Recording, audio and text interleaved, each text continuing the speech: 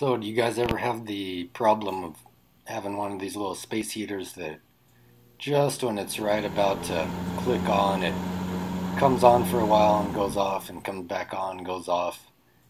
So, I've been having that problem for a couple of years now. I finally got fed up with it and decided to do something. So, I built a little thermostat to uh, take care of the problem. So what I ended up doing was take a line voltage thermostat, just a baseboard heater thermostat. You can get them for about 25 bucks at the store, maybe 10 or 15 bucks online. Spliced it onto an extension cord, just El Cheapo from the Walmart. All you have to do is plug your heater into it, place the thermostat a couple of feet away from it, preferably not right in front of the fan or you might get yourself the same problem and turn the heater all the way up to high and let this guy do the work for you. Here's the wiring diagram for this particular model.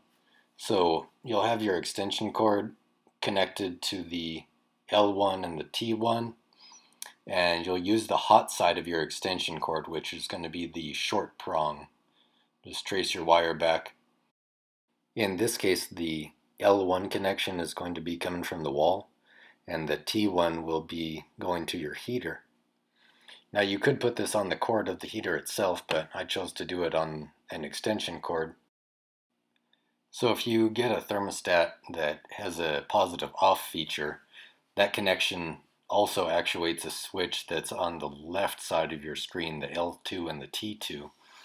And so that will only just go off and on if the switch is off or on and it won't control it with the thermostat itself. So I definitely hooked that up, put it all together, and had to take it back apart and switch over to the L1, L2. So uh, make sure take a look at your directions. It's easy to armchair quarterback this and say, well, maybe I should have just bought a good heater with a real thermostat from the get-go, but we've already got these and we do like using them. So this solves a problem for me and I hope it'll help some of you out. If you've been annoyed by the same cheap heaters I have and have solved the problem a different way, we'd like to hear about it. Just go ahead and post it downstairs and we'll have a look. Thanks for your time.